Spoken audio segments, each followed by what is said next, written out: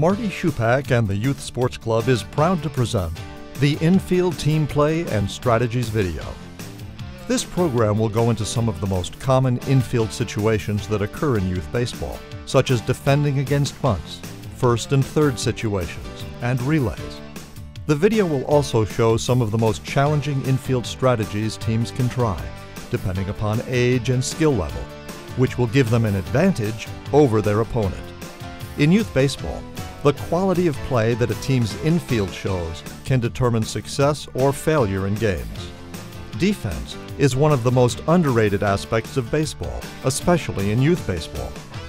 The information given in infield team play and strategies will only work if parents and coaches of youth players teach, practice, and reinforce. As always, Marty Schupak and the Youth Sports Club encourage improve as individuals, improve as a team,